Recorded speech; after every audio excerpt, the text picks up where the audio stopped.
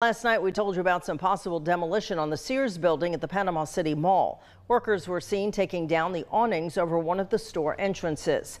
Seritage SRC Finance took over Sears after the retail chain declared bankruptcy in 2018. That was just a few days after Hurricane Michael destroyed the mall. Since then, nothing has happened. City officials say Seritage is staging equipment to demolish both the main Sears building and the detached automotive center once they get the proper city permits.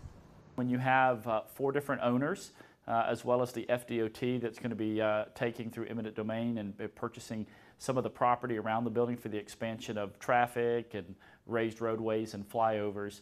You know, I think the real long-term um, you know, status and, and, and path forward for that property is really unknown at this time. Hayes says he expects the demolition to begin in the next few days and the Sears properties to be gone in the next couple of weeks.